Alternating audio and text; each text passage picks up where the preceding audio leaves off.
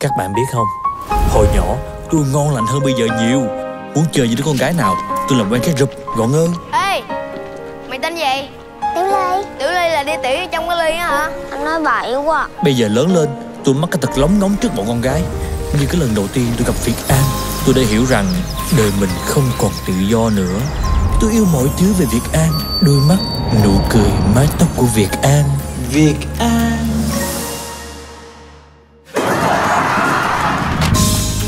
Việt An hành hạ tôi Làm cho tôi khổ sở đến ám ảnh. Trái Việt An nè. Anh viết gì vào sách của tôi vậy? Anh đền sách lại cho tôi. Không như Tiểu Ly. Tiểu Ly dễ thương hơn gấp 100 lần. Nhưng mà tôi lấy Việt An rồi. Yêu cái mốc xì á. Ê Hải, có tiền không? Cỡ này được rồi. Thầy ơi! Tại sao tôi lại có một người bạn như vậy? Thôi Thuận Tại sao mua có mỗi một thỏi sô-cô-la cho Việt An? Bọn tôi có tận ba người cơ mà. Mấy bữa rại á Mua đồ cho Việt An hết tiền rồi. Mày ngu như lười vậy đó Chết hả?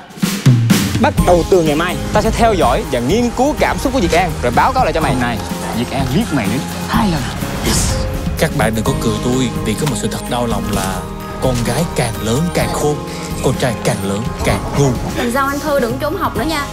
Chăm sự cho mày mày ra hết á. Thằng vô duyên Yêu không được tự nhiên đổi thừa. Tại mày Mày nói Việt An thích tao. Làm sao tao biết được? Mày ao tao cái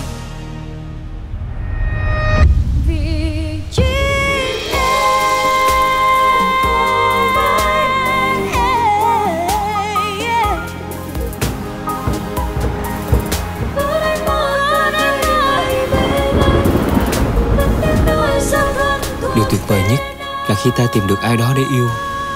Và người ta cũng yêu mình thật nhiều nữa.